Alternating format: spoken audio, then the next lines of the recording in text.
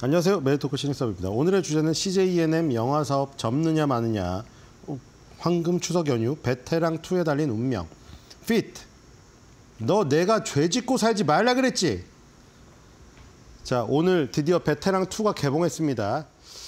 어, 지금 굉장히 귀추가 주목되는데요. CJENM이 마지막으로 흥행한 영화가 2022년도 추석 바로 그때 698만 명 현빈 씨의 공조2 인터내셔널이었습니다. 자, 과연 베테랑 2로 살아날 수 있을 것인가? 자, 이걸 두고 지금 말이 많은데 뭐 이미 다 사실 언론에 다, 다 나왔습니다. 왜 빌런이 없지? 조태호 제2의 조태호 누구야? 근데 포스터에 있습니다. 그렇죠?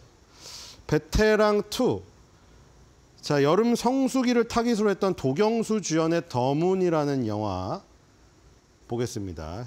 이 흥행 참패를 지금 기록을 하고 있는 여기서 지금 살릴 영화는 이거밖에 없습니다. 뒤로 가겠습니다. 관객 수를 한번 보죠. 자, 일단 요거는 예, 베테랑 1에 개봉됐던 내용이고요. 베테랑 1이 얼마였을까요? 베테랑 1은 1340만 명입니다. 대단하죠? 뒤로 가겠습니다. 근데 조태호가 진짜 현실 빌런이 돼버리는 바람에 그렇죠? 너무 리얼리티했죠. 네, 뒤로 가겠습니다. 네, 베테랑 2 예, 개봉 예정이고요. 자, 베테랑 1이 전, 전 토탈에서 얼마인지 볼까요? 자, 명량. 아, 이거 명량은 솔직히 학교에서 막 두 번, 세 번 해가지고 1,700만 원이라 치고 극한 직업이 어떻게 1,600만 갖죠, 이거? 다들 그쵸. 극한 직업이 저렇게까지 갈 수가 있나. 어쨌든 이 깨기가 힘들 것 같아요, 두 개는. 1,400만 명 친과 함께고 아까 전에 베테랑이 7위에 있습니다. 대단하죠? 베테랑이 7위에 있고요. 그 10위권 안에 들려면 도둑들을 제쳐야 되거든요.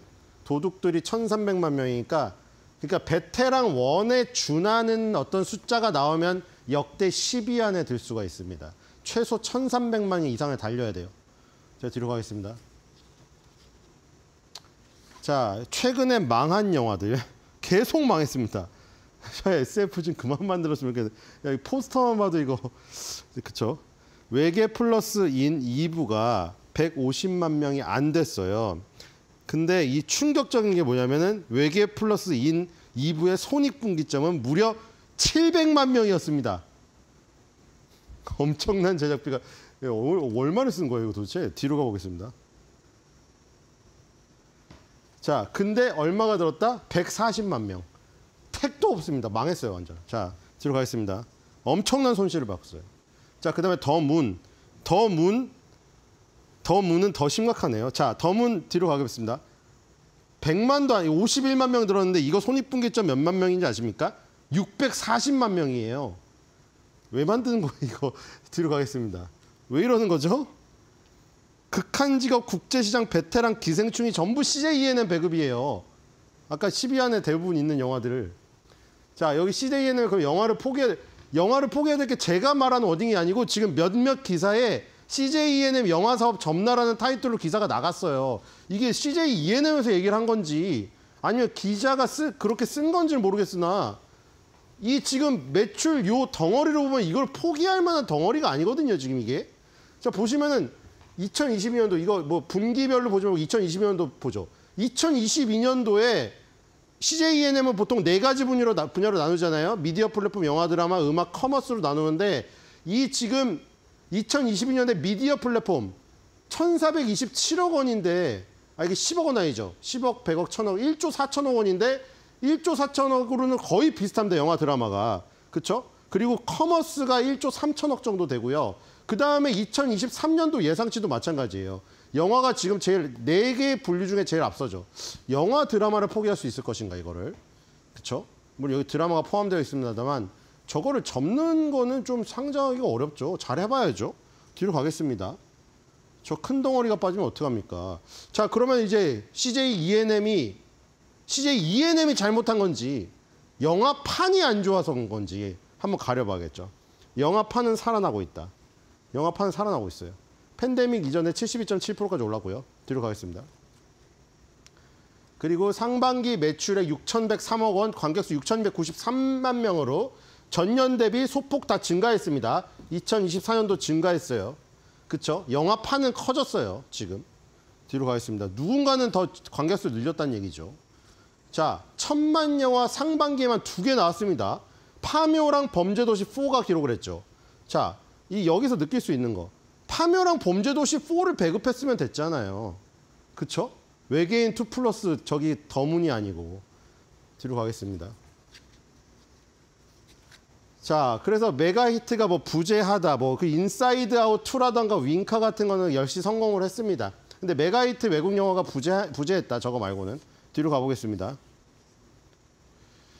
자, 그리고 금요일 개봉이 많다. 예전에 수요일 개봉이 많았는데 금요일 개봉이 많고요. 베테랑 2도 오늘 금요일 날 개봉했습니다. 자, 뒤로 가겠습니다. 자, 그래서 여기서 충격적인 결과. 이것 때문에 그 기사가 나왔을 수도 있어요. 자, 맨날 원래 1위였죠. 왜냐하면 CJENM은 배급사기도 한데 CJ, CGV라는 영화관을 갖고 있기 때문에 예전에 말했듯이 여기다 다 꽂아버릴 수가 있거든요. 깡, 깡패 배급이라고 불러요. 깡, 깡패 배급. 근데 그런 장점이 있는데 예를 들어 쇼박스는 어디다 깔 거예요? 근데 쇼박스가 21.8로 1위입니다. 워너브러더스 23.4, 월트 디즈니 플러스 M 쭉 나가가지고 CJENM이 7위에 7위. 아주 충격적인 결과죠. 7위를 기록했습니다. 아주 민망한 결과가 나왔습니다. 자, 뒤로 가겠습니다. 네, 상반기 전체 영화 탑 10. 파묘. 자, 이게 컸네요. 쇼박스. 쇼박스가 원래 예전에 그 CJ랑 롯데가 다 그 계열사를 갖고 있기 때문에 여기 약했는데 그 류승범 씨 7번 방의 선물로 천만 찍으면서 쇼박스가 올라온 거죠. 근데 이번에 또 파묘를 터트렸네요. 어쨌든 잘, 잘 봐야 돼. 이게 잘, 잘 찍어야 돼요. 그리고 범죄도시. 범죄도시가 지금 ABO 엔터테인먼트랑 플러스 M 엔터테인먼트가 배급한 걸로 나와 있는데 야 스크린 수 이거 뭡니까? 이거 스크린 수 3천 개 가져갔어요. 그냥 이 당시에는 그냥 다 영화가 범죄도시밖에 안 해요. 그렇죠? 그래서 관객 수가 근데 범죄도시 4를 파묘가 뛰어넘었던 대단한 거죠 이거. 그렇죠? 파묘는 특히 오컬트라는 특정 장르인데 이게 대단한 겁니다 진짜로. 1191만, 1150만, 인사이드 아웃 2, 그렇죠? 우리 기쁨이 기쁨이 당황이 다 좋아하시죠. 564만, 웡카. 자, 이 밑에는 다 듄 파트 2, 쿵푸 팬더 다 외국 영화들입니다. 그렇죠? 자, 여기 여기 꼈는데 민망하네요, 이거. 자, 외계인 플러스 2 2부, 외계 외계 플러스 인 2부. CJ ENM이 배급했는데 야, 이거 낀 거 민망하다. 그렇죠? 여기 끼긴 꼈는데 CJ ENM 거딱 하나 있습니다. 그것도 흥행 참패한 거. 아까 이거 700만 명 들어야 되는데 지금 143명 들어가지고 이거 어떡합니까, 이거. 반토막도 안 됐잖아요. 뭐 전체적으로 영화가 약한 건 사실이에요. 그렇죠? 듄 파트 2 뭐 그 잘생겼다고 아무리 그래도 내용이 그렇죠. 내용이 재미가 그렇죠. 이거 뭐 200만 들어 가지고 이거 뭐, 뭐 거의 뭐 기세는 천만 들 기세였잖아요. 그렇죠? 근데 전혀 아니죠. 전체적으로 그러니까 사실 파묘 범죄도 쭉 빼고는 좀 그래요. 좀 안 좋죠. 인사이드 아웃도 예전 같았으면 이거 천만 갈 수도 있었는데 그렇습니다. 어쨌든 파묘 범죄도시 four 빼고는 천만이 없었다. 뒤로 가겠습니다. CJ ENM은 두 개 중에 한 개도 못 잡았다. 자 그리고 아까 전에 마지막으로 흥행한 영화가 2022년도 추석 때 698만의 공조2 인터내셔널이라고 했잖아요. 그럼 마지막으로 손익분기점 넘은 거는 뭐냐?